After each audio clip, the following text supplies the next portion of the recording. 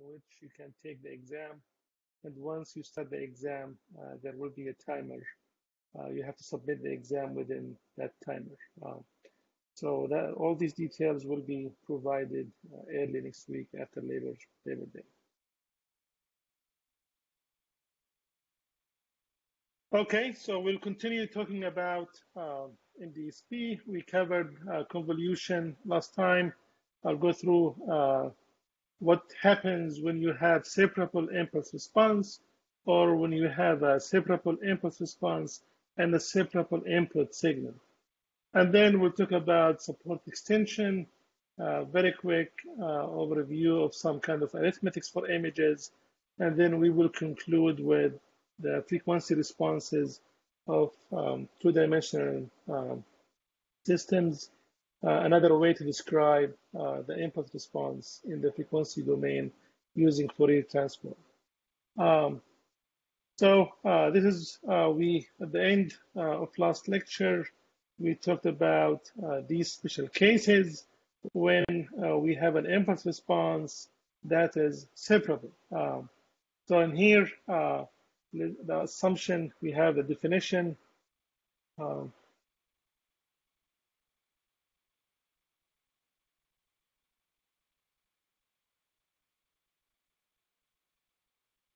so we have the two-dimensional uh, convolution definition, the output G, the double summation over K and L, and then we chose to have the impulse response with the variables and the indices of K and L. These are the summation variables. Uh, and then F, uh, we mirror f around the x and the y axis, so we have m minus k and n minus l uh, in, in this definition. And now the special case uh, that we are talking about in here is when we have the impulse response h of m and n is separable. So separable means it is the product of two one-dimensional sequences, in this case w and v. W of m and V of n. So what will be uh, happening in this case? So uh, we start with the definition, and then we replace uh, h of k and l with the product of these two one-dimensional sequences, w and v, and then reordering some uh, of our summation to over k in here. w of k uh, doesn't depend on l, so we can take it outside the summation over L. And then what we have left is summation over L, V of L, F of M minus K, and N minus L. Um, so could you please mute your uh, your mic? I can I, I can hear some typing. Thank you. Um, so in here, uh, what we have, uh, if in the L axis, in the L direction, well, you can look at this expression within the, uh, the rectangle in here as a one-dimensional convolution, as we talked about in more detail last time. So if you take f of m uh, n minus l, and then you convolve uh, with v, then just assume that the resulting signal, we'll call it d, and then this d will be still function of m minus k as is. And then the convolution in the L direction will give you uh, the variable n in here. And now what we have left from the previous line is the summation over k and w over uh, of k. And then we have double summation over k, w of k, and then d signal.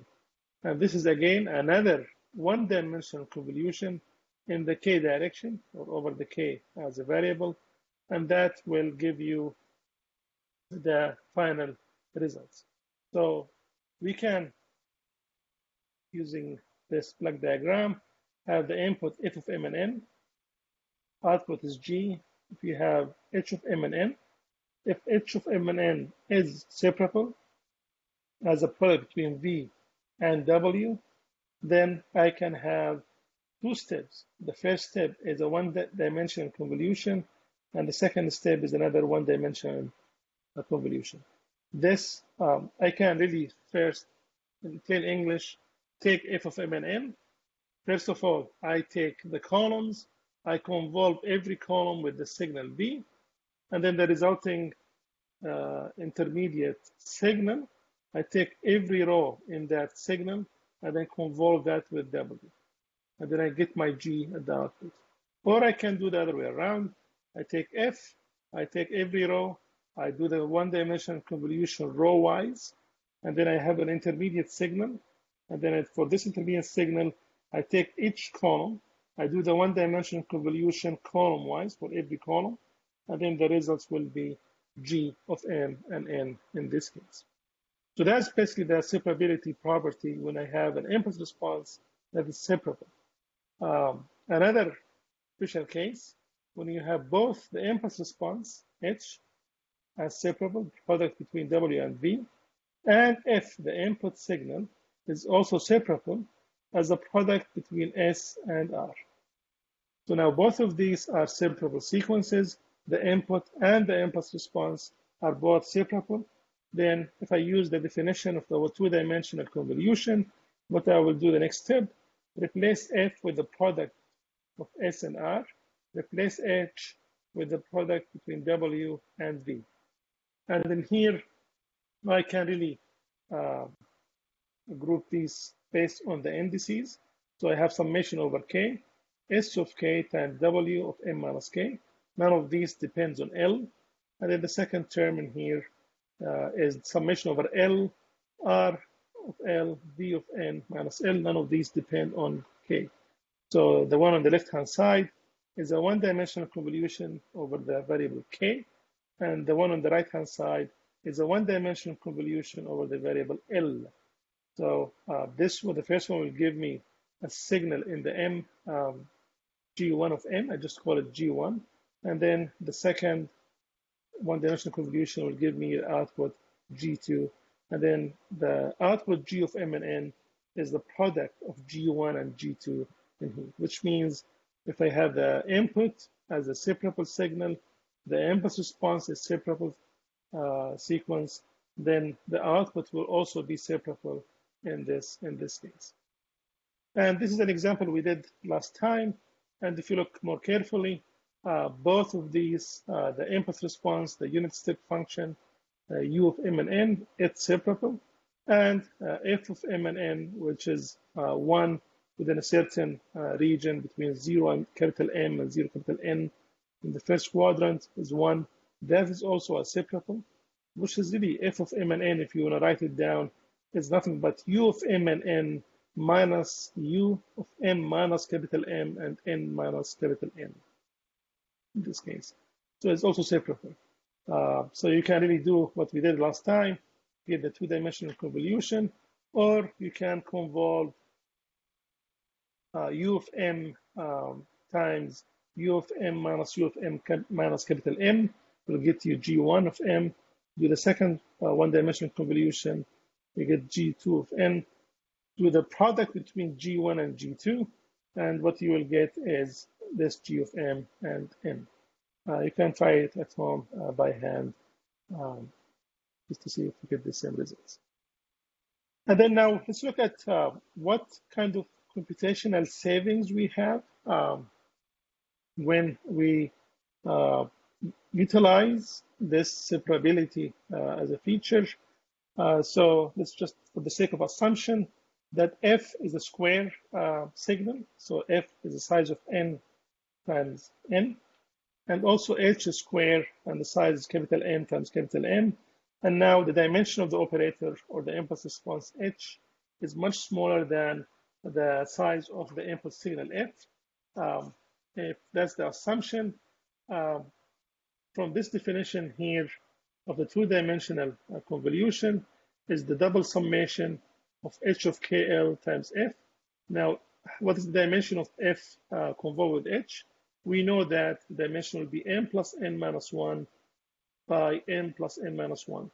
So we have m plus n minus 1 square uh, samples uh, in our output. And each one of these samples, they will require this many products, right? How many of these is the dimension of h of k and l, which is not, when it's not zero. And what is that? Is m times n. So we'll have m times m multiplications or m squared multiplications for every single point or sample in the output g of m and n or the output of the convolution of f um, with h. So this is how many samples we have in the output, and each sample requires m squared multiplications. So if you do this uh, simplification um, uh, calculations, we'll get this number in here. And then if we impose the fact that uh, capital M is much more than capital N, then we can really do an approximation that the number of multiplication we need for this two-dimensional operation is n squared n squared. Now, if you take the special case and uh, h is separable, now um, if you remember what that means, we can perform two one-dimensional convolution, convolution in um, uh, consecutively.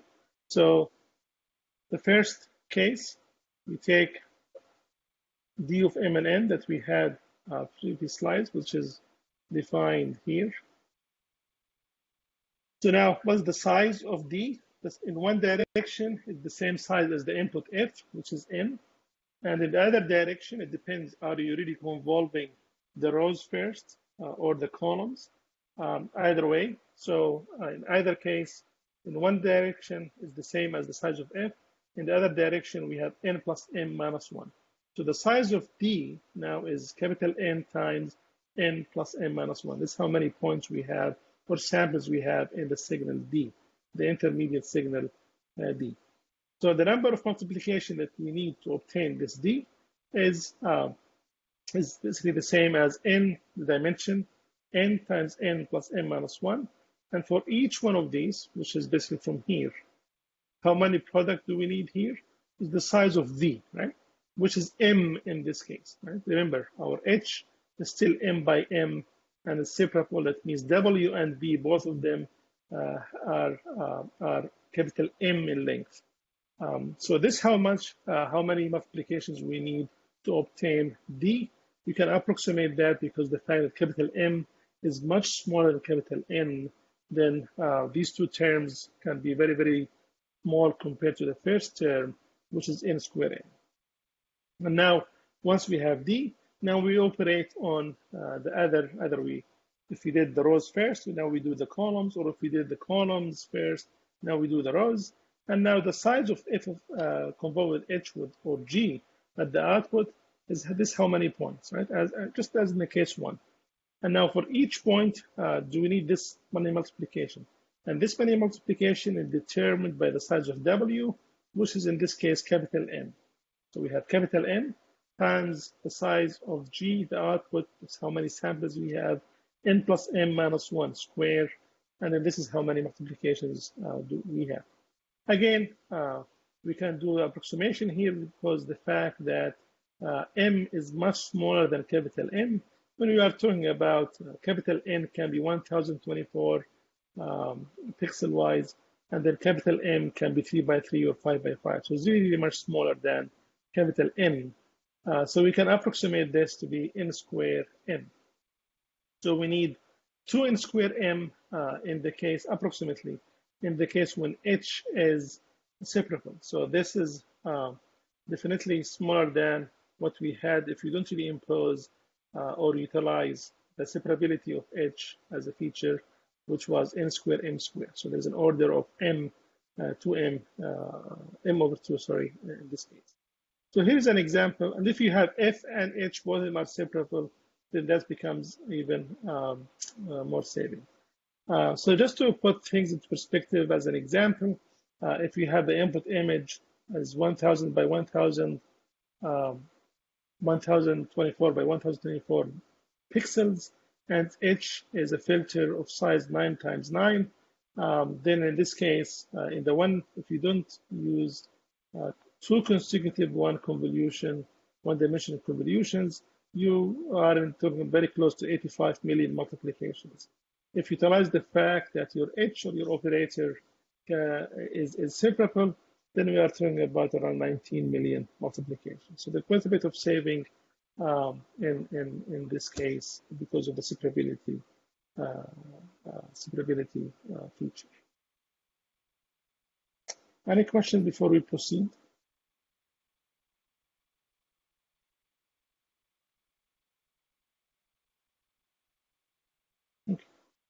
So now um, what we will talk about next uh, is the support region, the fact that if you look at the LSI systems, uh, when we have usually this course, uh, the input signals are really natural images, and then uh, we have a finite support for these images, uh, meaning that they don't really go to infinity. There is a there is a, a finite region of support, a, a finite dimensionality uh, to, to describe these input signals. And then when you have an operator operating on these signals, then the output will be larger than the input size because of the n plus n minus 1 uh, um, uh, that we talked about. So that's kind of a, usually you want to keep both of these input and the output uh, with the same dimension so you don't really have distractions in the display of these, uh, of these images.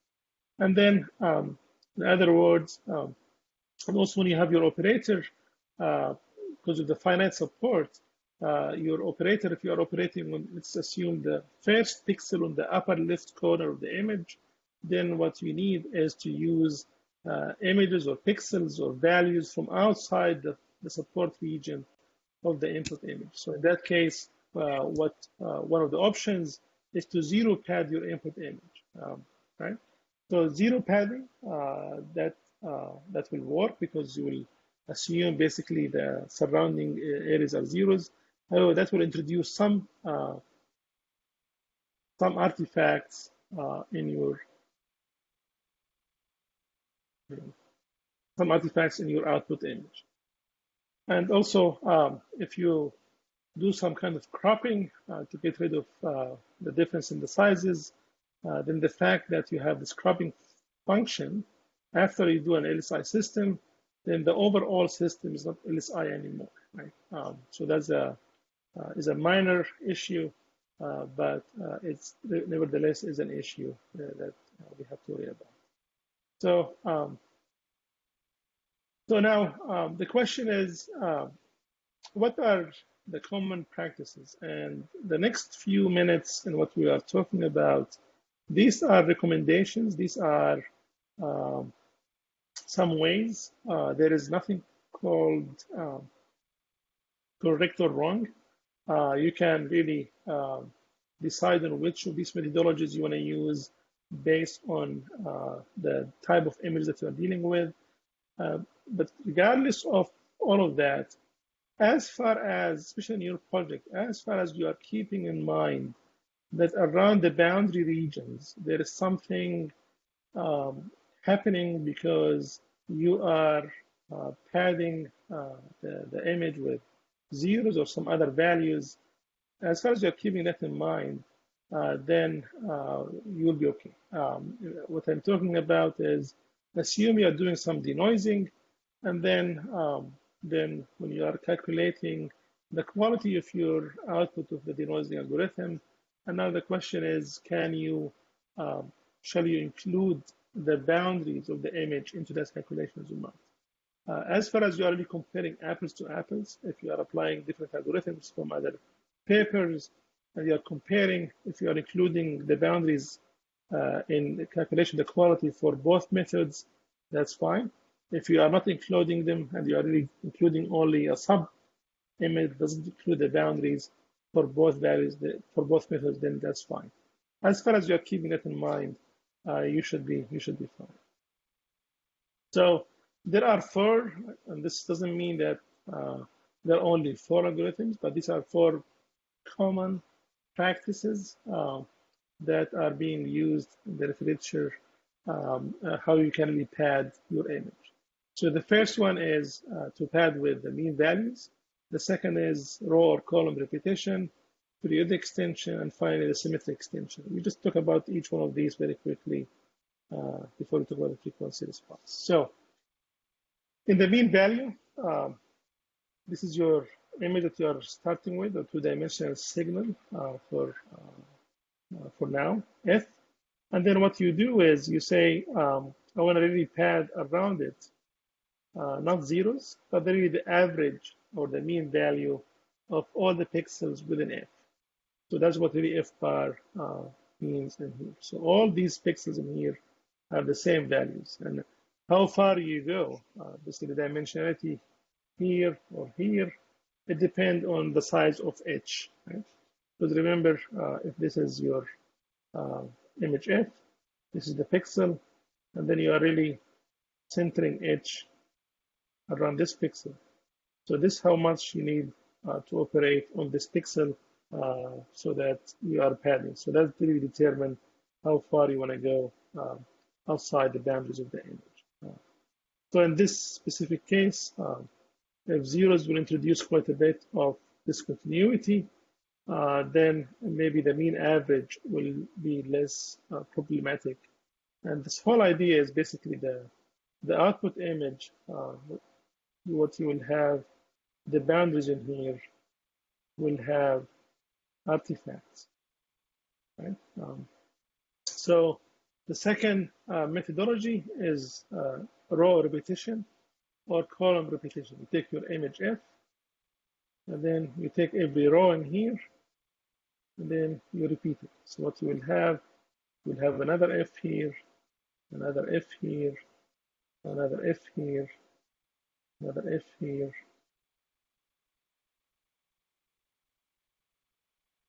So you repeat your image F, and it depends on what the size you are looking for. This, this becomes your input image. Right? So that's basically you have a repetition of your column and or and rows uh, in this case. And then another one is a periodic extension. That's as if you are really, it's the same as the number two. Uh, the only difference is that you are really doing some kind of, uh, in the first one, you're, sorry, in the number four, you're doing some kind of mirroring. In number three, as if your rows are really coming from a, a periodic segments. And the same thing for the column as with number two. Um, so all of these are, uh, are, are, examples of, uh, of how you can really do the padding. Uh, if you just say, I want to keep things easy for me, I just want to pad with zeros, that's absolutely fine. Uh, I just want to mention this uh, in case uh, there's a question about it. So there's a question about um, as an input, can a natural image be inseparable? Uh, most natural images, um, actually all of them, uh, uh, they are not really separable. Uh, it's, it's, uh, it's, it's, very difficult to find uh, two one-dimensional sequences whose product will produce the natural image. In computational imaging, that's a different story. Um, it's possible based on how you set up the, the, the computation and the imaging. Um, the second question, uh, so the intuition behind the artifact, except from zero padding, and how they could be reduced by mean value extensions. Yes. Um, so uh, if I take this as, as an image F, if I pad with zeros in here, right? Let's put this one one side, right? So it depends on what kind of pixels in here, uh, what kind of values uh, we have. Let's assume the intensity value is something between 0 and 55 to say 100. So when you have a 0 and then jump next to it to 100, that's a high frequency, that's an edge, that's a high frequency component. Um, so now uh, the next, the output uh, of, of the image uh, when you do zero padding, um, as if you are really assuming there was a very sharp or an edge or high frequency content at the very beginning of the image. It depends on what you are really doing. If you're doing averaging filter, for example, then you are really um, uh, doing very, very blurry effect uh, for the around the boundaries of the image.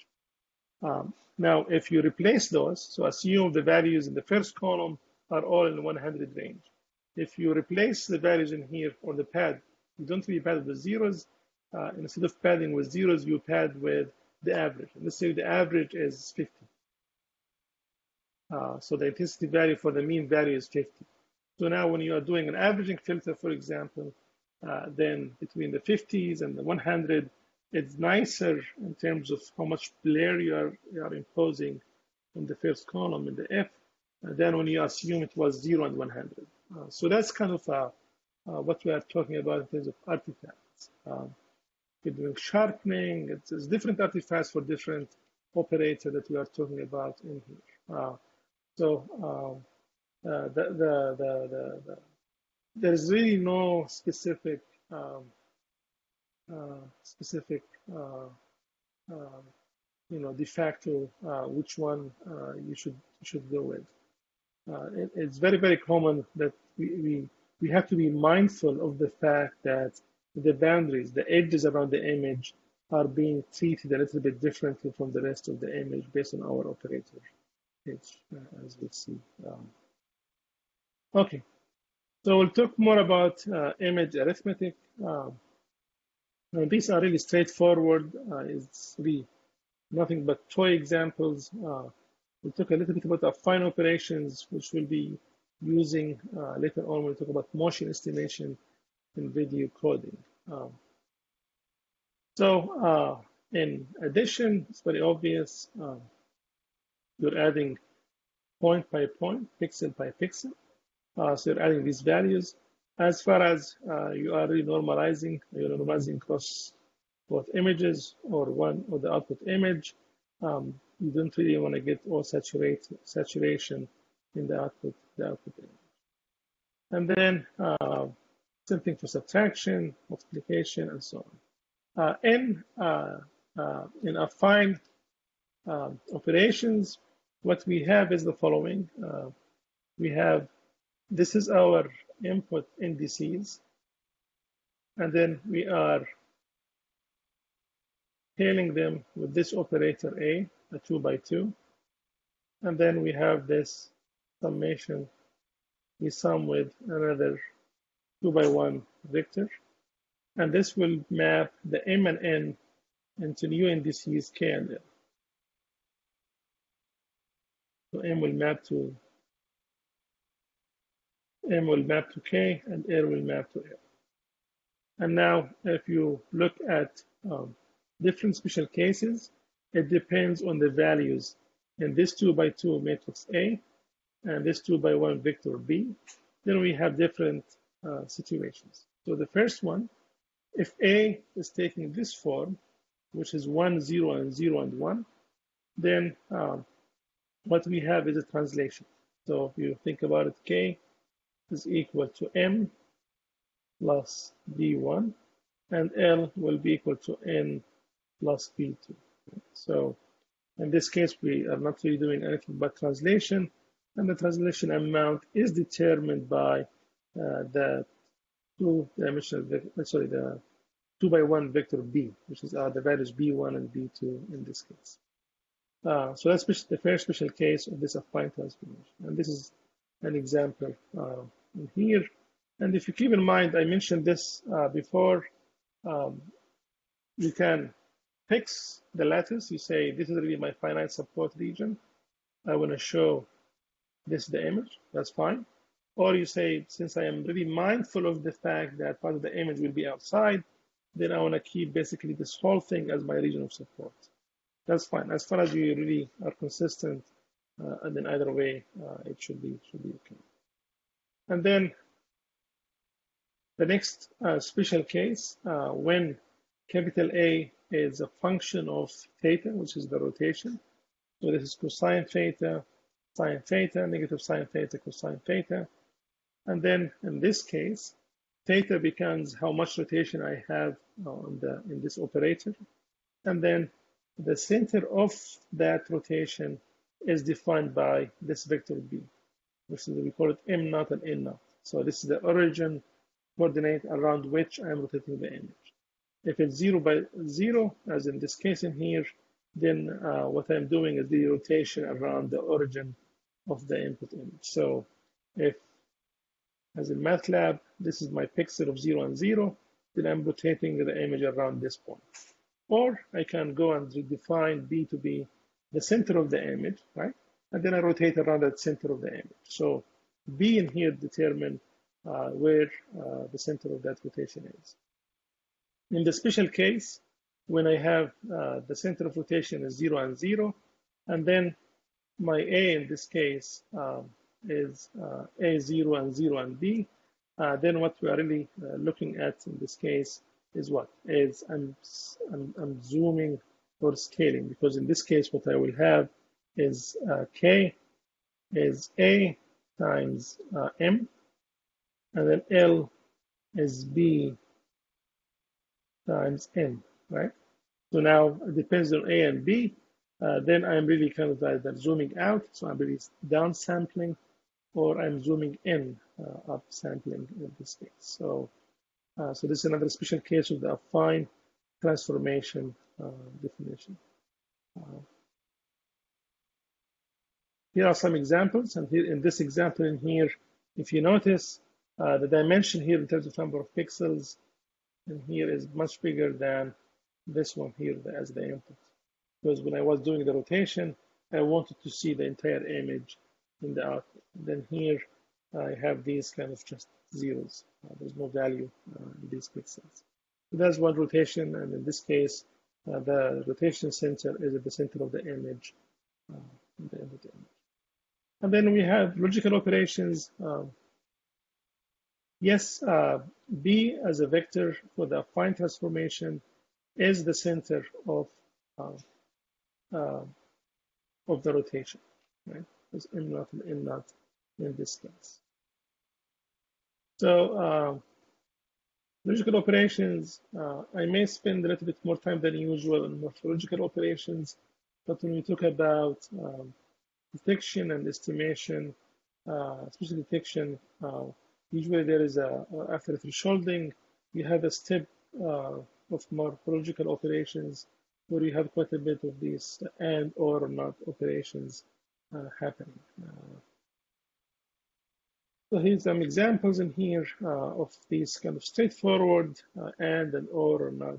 so the negative, for example, examples, but we'll talk more about these how we use them when we talk about detection uh, of point detection, line detection, uh, and then uh, segmentation as well. Uh, usually what happens, um, so for example, in, in, in, let's say a very simple edge detection algorithm, um, you, it gave you, because of vari variations in, in, in, quality, in noise, and in sharpness in the input image, you have a line that's really connected. However, your edge detection algorithm gave you only two parts and there is a gap in between.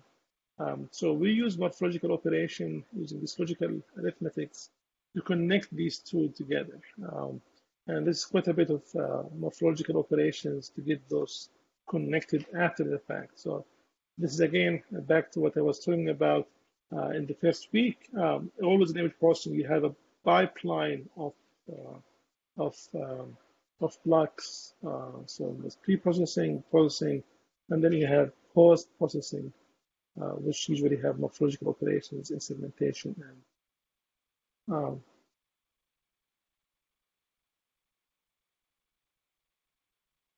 um, there is a question on uh, when you zoom with a equal to 2, so that basically means k equal 2 times m how do we fill in the pixels? We'll talk about that in interpolation. On Thursday, I will show you some examples of interpolation. And then next week, we'll talk more about um, what are the basic algorithms to do interpolation. Um, there are quite a bit of uh, new methodology under, if you look, uh, the most common application nowadays called super resolution. There is a thousands, thousands of papers uh, how do you do super resolution, either in the frequency domain, spatial domain, and in recent years using neural networks as well. Uh, so that's called interpolation. How do you do interpolation between, uh, we'll talk about, give you the basics of this uh, examples on Thursday. And then next week, I'll give you the very, very basic of this interpolation uh, algorithms. Um, okay, good questions. Um, frequency response. Um, so we have an input signal X, we have our output Y, we have an impulse response H, and now let's really assume that I would like to describe uh, X, the input, um, as a complex uh, amplitude, uh, exponential, sorry, amplitude. Uh, and in this case, we usually have A, but let's me just say A is equal to 1. So we'll have AE to the J omega 1m and omega 2n. And now basically we have two-dimensional signal. Then we have really two uh, frequency components, omega 1 and omega 2, one in the x direction and one in the y direction. In other words, um, there is a periodicity in x in the x direction with omega defined by omega 1, which is 2 pi uh, uh, hertz, that is the frequency in hertz. And then we have a periodicity in the y direction defined by our omega 2. If, um, and if you look at this, this is nothing really but an extension from the 1D case. We used to tell you x of n is nothing but equal to a e to the j omega n, right? Where omega is a is a known frequency, we call it omega naught sometimes as well. So if that's the assumption, uh, then we can look at how we can calculate the output y using double summation uh, definition of two-dimensional convolution over k and l. I have shift and mirror in the k, uh, in the x. So I have x of n minus k n minus l, and then I have h of k and l.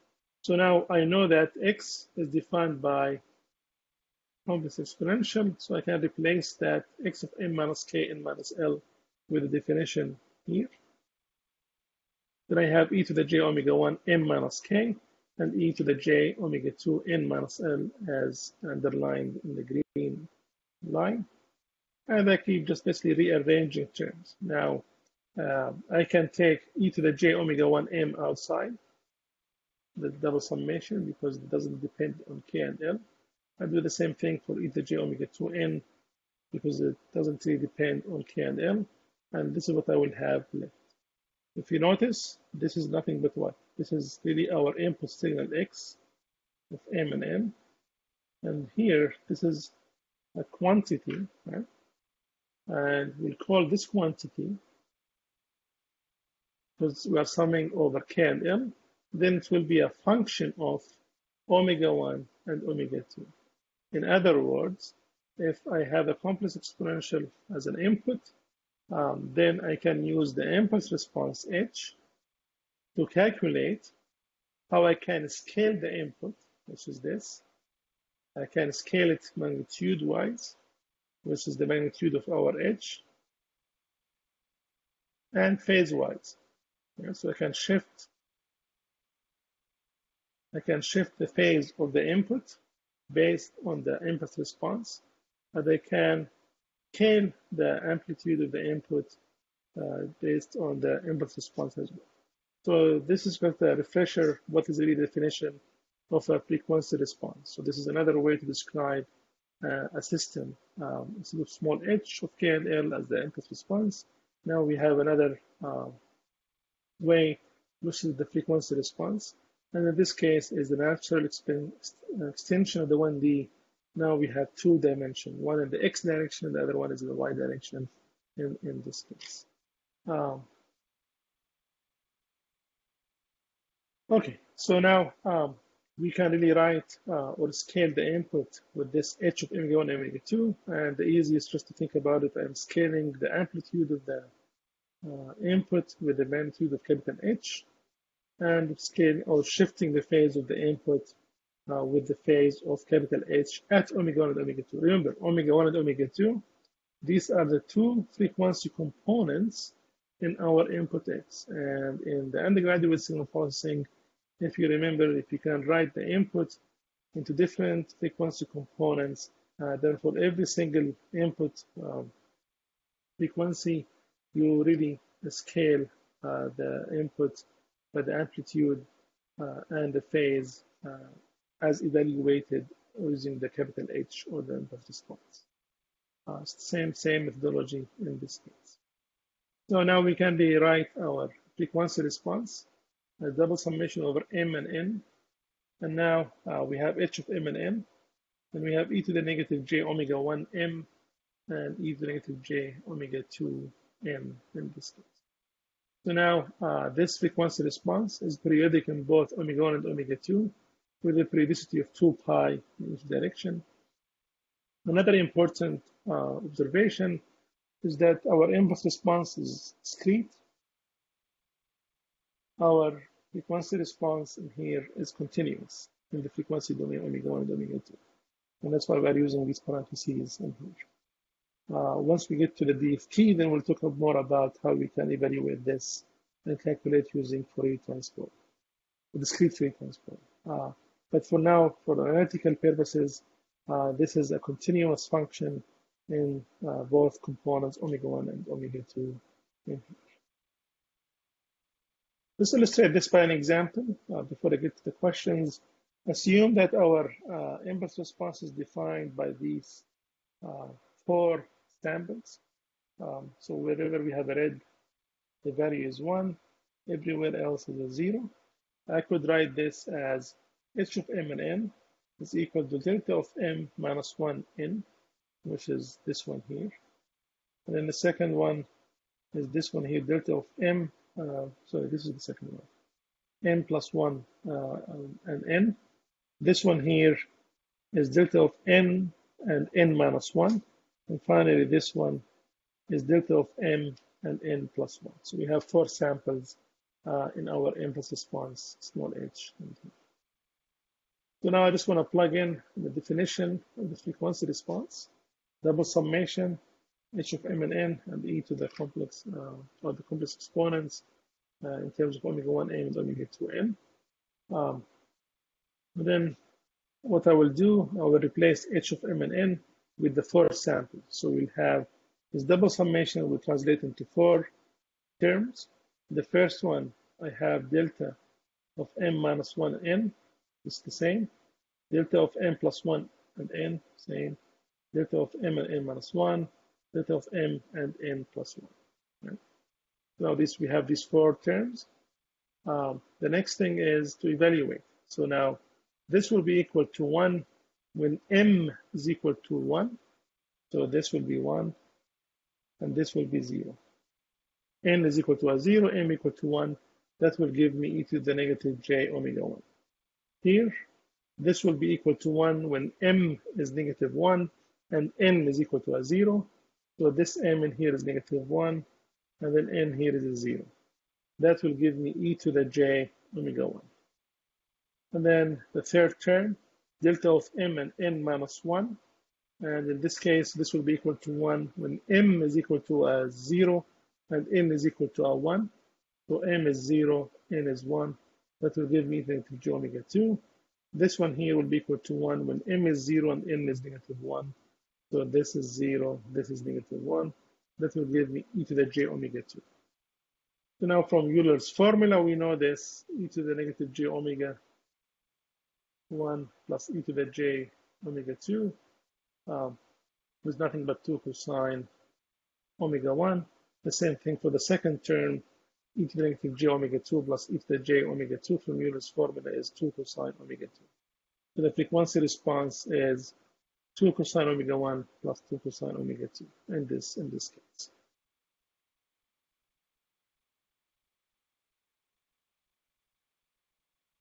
Okay, so there's question, two questions. One is, uh, so one question, what does a change of phase uh, do to uh, an image? So uh, it depends on what we are really, uh, so remember, uh, if you have an image, there is the intensity values, right? So every single pixel intensity values. What we are referring to the smooth image, that means the frequency content there is either is a DC or is low frequency. If you have sharp edges, that means high frequency. So those are really contribute, these are frequency content. Okay? Now, when you are doing some some some some operation in these images, what you are looking at, you are looking at the magnitude. That you are really plotting the magnitude. Now, you will look when we talk about DFT later on. How can we use the phase of of uh, of uh, of uh, of these images. What what what which is rarely used. It's, uh, in computational images, they are used more than in natural images. Uh, but we'll talk some some examples of what happens to the phase of the image um, when you are scaling it, when you are shifting it. Uh, the whole idea is that you are shifting the frequency content, right, um, over the frequency spectrum. Um, so this is really kind of the frequency response. You can plot uh, capital H of omega 1 omega 2 in this case. Um, this is another exercise by hand. This is H of M and M, what would be the frequency response h of omega 1 and omega 2. It's just a tedious task, uh, but at the end of the day, it will have four, four terms as, uh, as given in this solution. Uh, so we can talk more about um, the other way around, and um, we'll have an example on this uh, in a minute. Uh, what about the, getting the impulse response from the frequency response? Um, you remember in the 1D case, uh, the frequency response is a continuous signal in the frequency domain. When we go and do the, the, the, the impulse response or the inverse uh, Fourier transform in this case, uh, using the Fourier series expansion, um, we have the integral. Um, the integral uh, over the period negative pi to pi in the omega domain, right? Uh, same expansion here. We have double integral uh, negative pi to pi in both direction omega 1 and omega 2. And this is really definition of the of the uh, of the impulse response using frequency response. Um, this term in here is 1 over 2 pi times 1 over 2 pi. Uh, different textbook, different materials online. Uh, they will have different definition here. They have the 2 pi uh, going from the frequency, uh, response frequency response. Uh, so this is the definition we'll be following uh, uh, in, in, in, this course. Doesn't mean the other ones are wrong. It's just what we agree on or we use as a convention. So as an example, let's look at this um, rectangular low pass filter. Uh, uh, this is uh, in the frequency domain. This is our frequency response. What this means is the following. This is a low pass filter, means this is omega 1, this is omega 2. What means within this rectangular, everything is 1, outside everything is 0. So I'm allowing low, uh, low frequency component in the x direction and low frequency component in the y direction to be maintained. And then I'm blocking out or filtering out everything outside this rectangular region. So this is really the same definition of the low pass filter that we had in the 1D case, but now I have a second dimension in this case. Um, so if you think about what this means is that um, I'm, I'm, I'm all the sharp, very, very sharp edges in my image uh, either horizontal or vertical, I'm getting rid of these. Um, so I'm, I'm only allowing the low frequency one. So if I apply this to an image, the output would be a blurry image, um, meaning that uh, the sharp uh, sharp edges will be uh, will be added out. So if I want to use the definition of uh, getting the impulse response to the frequency response, h of m and n, 1 over 4 pi square and then here's this integral between negative pi and pi. But now I have really A and B defining uh, the width and the height of our low pass filter. Again, A uh, and B are less than pi. Uh, so I can replace that with negative A to A because anything outside between A and pi and between negative pi and negative A is zero. Uh, and the capital H magnitude in this case is all one. And then I have the complex exponent uh, exponentials in here, e to the j omega 1 m, e to the j omega 2 n uh, as they are. Uh, so um, I can rearrange terms. Um, so this is really the respect to omega 1, this term for the, this integral with respect to omega 2. And then uh, this is a very simple one, will give me a sinc function, right? Um, so now this is nothing but a product of a sinc function in the n direction, another sinc function in the n direction. And if you look at the one, the, the one-dimensional case is the same thing when you have a, a low-pass filter uh, uniform. Uh, it will give you also a sinc function um, as your um, impulse response. And again, um, if you look carefully at the frequency response itself, we know this is separable. It's a product of two uh, uh, u of uh, basically a, a step a, step function in the x direction, a step function in the y direction. And if you look carefully at the impulse response, is also a separable, is the product of two sinc function, uh, one in each of the two directions, x and y.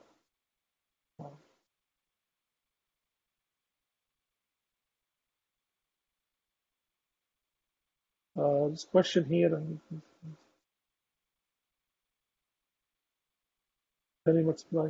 Yes, um, that multiplication is scaling. Uh, yes, it's not really a multiplication because it, it's, uh, remember, our input, I can define it as capital A times e to the j omega 1m and e to the j omega 2m. So it has uh, two-dimensional, uh, so it has a very simply an amplitude and a phase. And then capital H, I'm evaluating capital H at omega 1 and omega 2. These are the input, the frequency uh, of the imp in the input signal, right? So I'm evaluating capital H at omega 1 and omega 2. What that evaluation will give me will give me a complex number. It has an amplitude and has a phase. And then I'm scaling my input x, which is a complex exponent.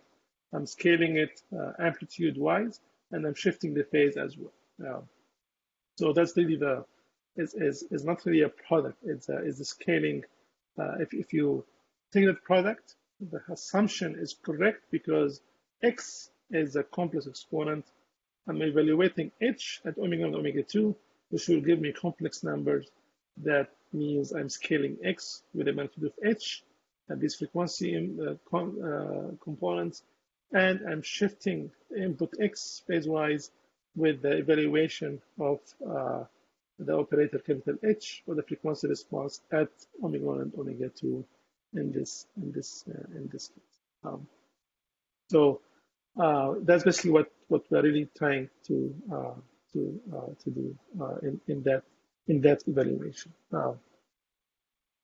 Uh, so there is a, an example, I think is in your problems number two or three, where we're taking this um, this rectangle and we are making it a diamond in this case. And uh, uh, we are asking you to do the same process. Uh, so in here what you need to impose is the features or the properties of the Fourier transform because if you do the integration it will be very tedious uh, in this case. Uh, so we'll look at some of the properties uh, in, in a minute.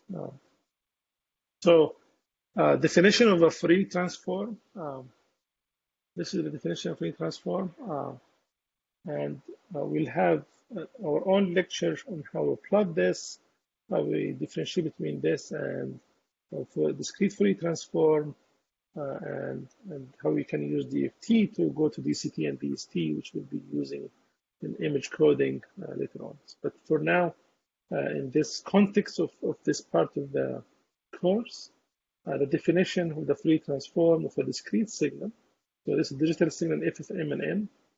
Uh, that's basically, it has the sample lattice. For now, we're assuming the lattice is rectangular, meaning I have x and y perpendicular to each other.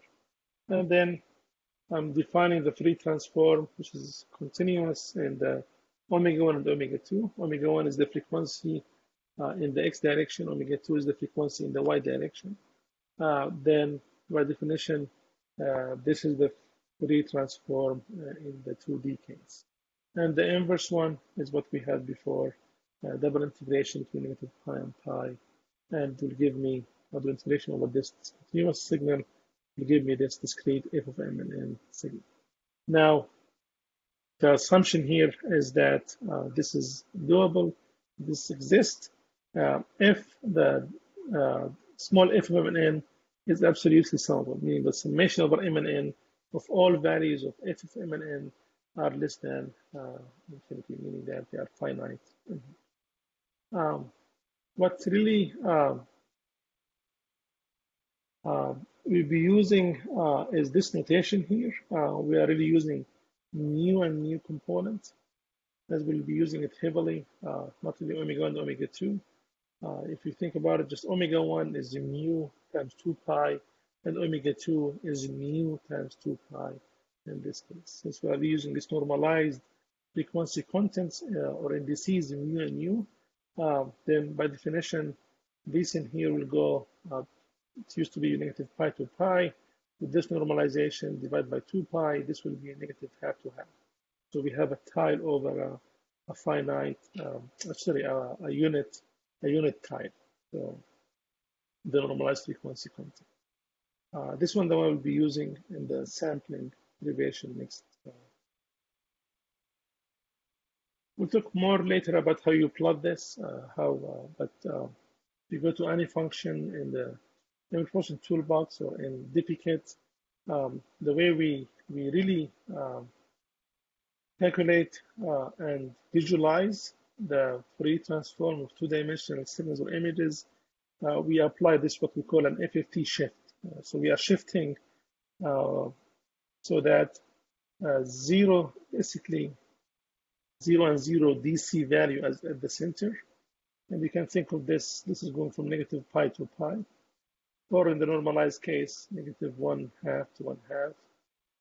And in the y case, negative pi to pi, or negative one half in the normalized case to one half. Um, so what this means, uh, that means anything on this line here, right? It has only content uh, that is really changing or has a frequency of variation in the content in the x direction. It has zero variation in the y-axis, right, vertically. And the same thing for this line here, right? And vice versa for these components.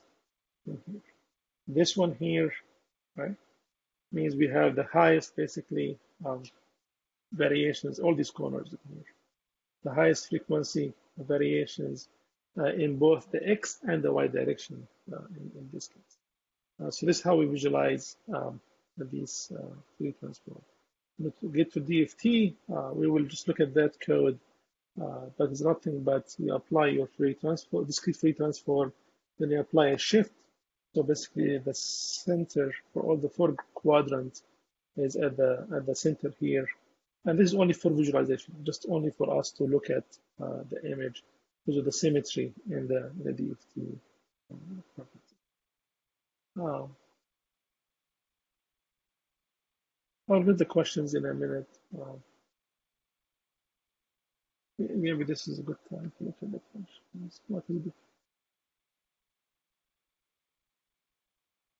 Uh, I had a question. Uh, do you want Sure. me to just type it or? Yeah, please go ahead. Yes. Uh, so on the homework, there were some DTFT questions that were not starred. Um, whenever there's a concept you communicate in lecture that doesn't appear in the homework, do we assume that that will be tested? Of course, yes. Uh, as I mentioned the first week, uh, uh, actually the homework, if you look at the second problem set, it has more content than what we have in the lecture, right? Um, and the reason is that uh, all the starred ones you will be able to solve as soon as we finish today. The, the unstarred one, the ones I didn't start. Um, so when you talk about sampling on Thursday, you will be able to solve them. But I, I unstarred them because you may not have time after the lecture on Thursday to solve for these. But I have them there for practice because the sampling as a material will be in the exam, uh, will be in the in the first exam, right? Uh, so DTFT, um, so is discrete time Fourier transform.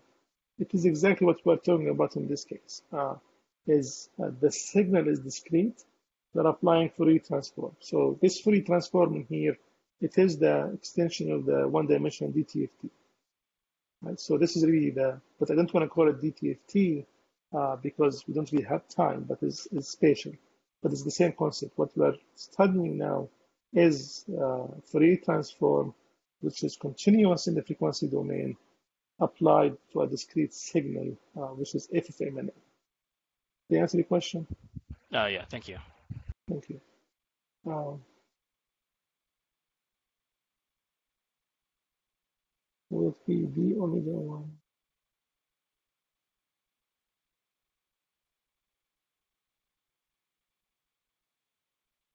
Okay, I'm, I'm not getting, getting some of the questions, but um, question about how can you tell if this is a low pass filter? Um, um, in the frequency domain, if you look at the rectangle, it was a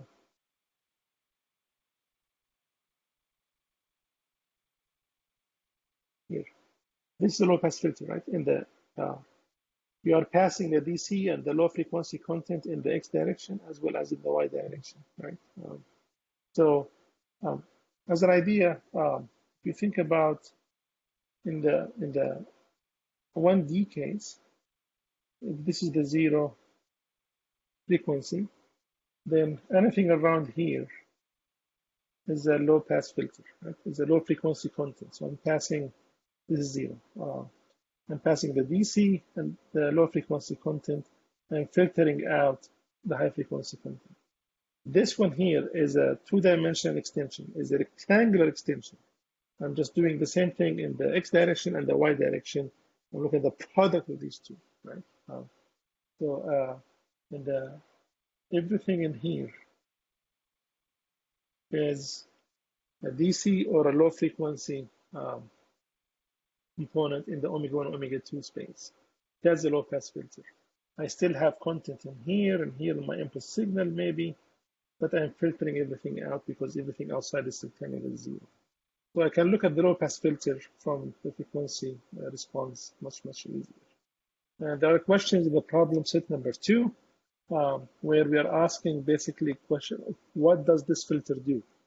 Um, and that's just what we're looking at. Uh, it's a low pass filter. It's a high pass filter, right? Uh, the high pass filter is the inverse of the low pass filter in operation, meaning passing out the, the, the passing the uh, the high frequency content, filtering out the low frequency content, uh, or maybe a medium pass uh, filter.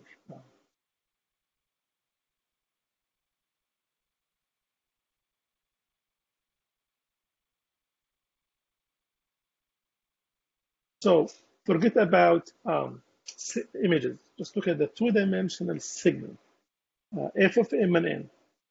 Now, um, any signal, um, it has a frequency component, a frequency content. It has non-zero content at a certain frequency in the frequency spectrum, right? So now, when we have an impulse response, we can do the two-dimensional convolution between a small h and the input f, and then we can get the output g. That's always our goal, right? Uh, that's basically how we do convolution. That's how we do filtering. That's how we process, right? So we have a small fn, small h is the filter, and then we do the convolution, right?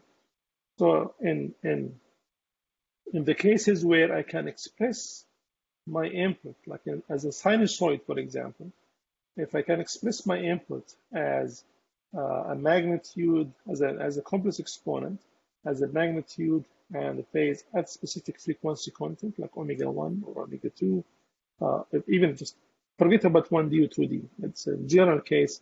I can express my input as a, a complex exponent at a certain frequency content. Right? Uh, um, if I have a sum of sinusoids, uh, then I can, or even a product of sinusoid, we know that there are multiple frequency content uh, based on, on, on the individual sinusoid uh, frequencies. So what really matters in here, if that's the case, then instead of using uh, two-dimensional convolution to do that, or one-dimensional convolution to do the operation, I can utilize the fact that I can uh, evaluate the frequency response at every single frequency in the input signal.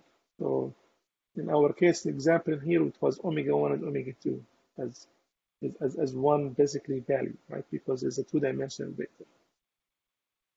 And then once I evaluate capital H at that omega 1 omega 2 or omega 1 only for one dimension case, then I have a complex number. It has a magnitude, has a phase. Then all what I need to do to find the output is to shift to scale and shift, scale the magnitude of the input signal with the value of the amplitude of capital H at the input frequency. And I shift the phase basically of the input signal. So what that means is, in this case, the same frequency, remember, this was a very fundamental idea in the undergraduate with one dimension. Uh, if I have an input sinusoid, I have a filter H, then the output, right, G, will have the same filter component as the first same same sorry same frequency component. We have same frequencies going through, right? But now I'm scaling the the, the magnitude and the phase. Right? So same frequency input will be at the output. The difference between the input and the output uh, can be only in the magnitude and the phase.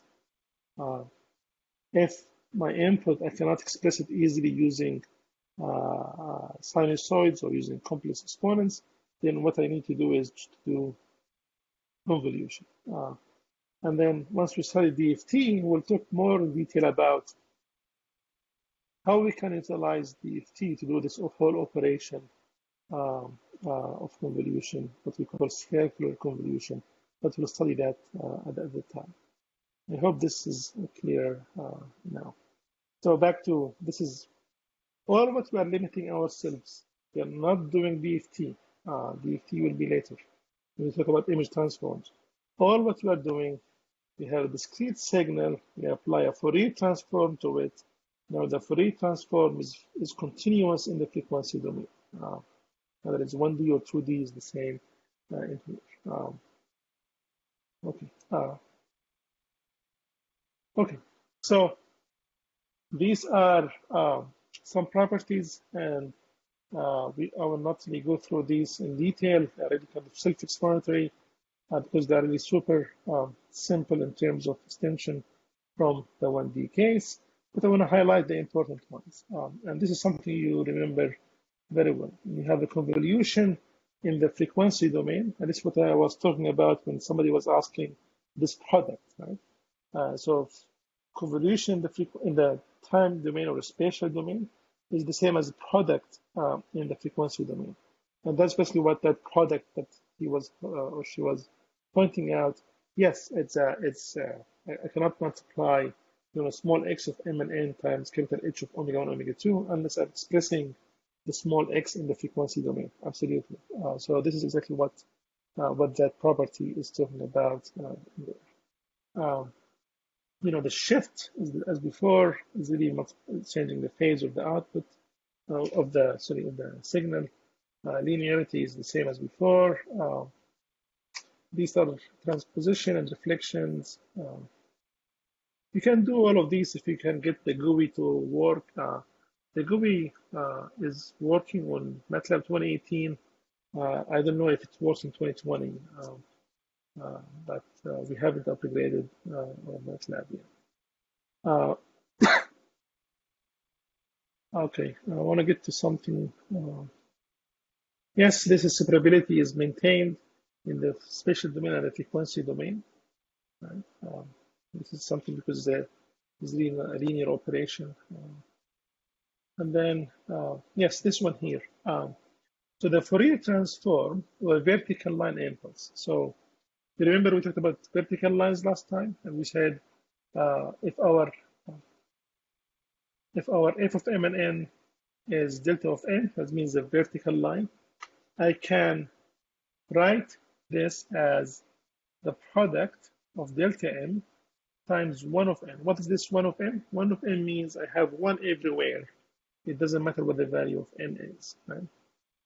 The product between these two is nothing but what delta n. Now, if I want to use the property that what is really the Fourier transform of this f of m and n, it's a product of these two one-dimensional signals, the separable sequence.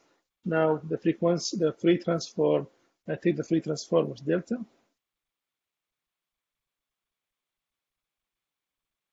I take the Fourier transform of one. And remember, when we have a delta of m, right? Um, we have a, an impulse, then the Fourier transform will be what? All ones, okay, white noise, right? All ones everywhere. So that's what we have. The Fourier transform of delta of m is 1 mu. I'm using the normalized frequency in here. And then the Fourier transform of 1 of n, so this is in the x-axis, in the spatial domain, is 1 everywhere. That will uh, translate in the Fourier, in the frequency domain to be an impulse, the frequency domain. So I have delta of mu, right? And again, a normalized frequency mu and u in this case. So if you look carefully in here, if you're gonna plot this in the mu and mu uh, space, uh, what you will have is you have delta of mu, right? So what you will have in here is a horizontal line. So what you had in a spatial, dom spatial domain is a vertical line, in the frequency domain is a horizontal line, um, and, and vice versa. So uh, that's something uh, you can generalize. If you have in the spatial domain, you have a line with a slope of negative capital P over Q. These are scalar numbers, P and Q. Then in the frequency domain, that will be represented by a line with a slope of capital Q over Q. As examples, you look at, of course, in this example, I'm just highlighting uh, a major contributor in the frequency domain. I have this red uh, line that has uh, high frequency content there. Um, this tripod in here is a major, but not the only contributor to that. And you can see between these two, they are perpendicular to each other. So uh, the, the product of their slope is negative in this case. And the same thing, if I take this line here, I take this tripod in here, this leg of the tripod, this is a major contributor. It's not the only contributor. Remember, um, localization, the frequency domain is not contained. That means I cannot say this pixel belongs here, for example. It's, it's, a, it's about how much content I have uh, contribution from the spatial domain. So that's why I'm saying this is a major contributor uh, to this line. This is a major, but not the only contributor to, to this line. Um, again, filtering um, this, if we take the cameraman as an input image, apply this low pass filter for uh, the question about what is low pass filter. You see in this case, I'm not using a rectangle, I'm using kind of a disk. Um, and then outside this disk, everything is zero. Inside this disk, uh, um, um, everything is is uh, is uh, passed. Um, so I can see um, this is a very blurry image compared to the original cameraman image. Or I can do a high pass filter within the disk, everything is zero. Outside the disk, everything is one. So I'm passing the high frequency content. Uh, what I'm maintaining is the edges, right? The sharp edges. It depends on how big the disk and how small I'm passing more or passing less uh, high, high frequency content in the image. Uh, but I'm really getting rid of all the values in the DC in here. All these values are gone. Uh, there is low, low frequency content. Um, uh, just want to make uh, this uh, the grass because of these variations. They're very, very localized, but they're still uh, high variations. So you can see these are still have high frequency content. Uh, so that kind of variation is still passing through through this filter in here. and finally, before we conclude, the Parseval relation basically the inner product between two-dimensional signals, uh, two two-dimensional signals uh, in the frequency domain uh, is basically uh, equal to the inner product uh, between their Fourier transform in the frequency in the frequency domain. So the energy is preserved um, in, in both in both domains in this case. And if we plot um, the Fourier transform man q square, uh, that is defined as the energy density spectrum of the signal F in this case. Um, at the end in here, uh, these are the, the table of Fourier transform that we'll be using for your own reference. Um, so very quick access to the whole um, Fourier transform property. And then uh, over the years, we maintained a formula sheet uh, for the cases when we used to have the exams in class, but also equally important to have some kind of a reference, a very quick reference to put everything together. Uh, I will be uh, updating that uh, formula sheet and I will be sharing it. Uh, it has content from later in the semester materials, uh, but I will go ahead and uh, post what I can have by the end of the week and then um, you just have a look and access to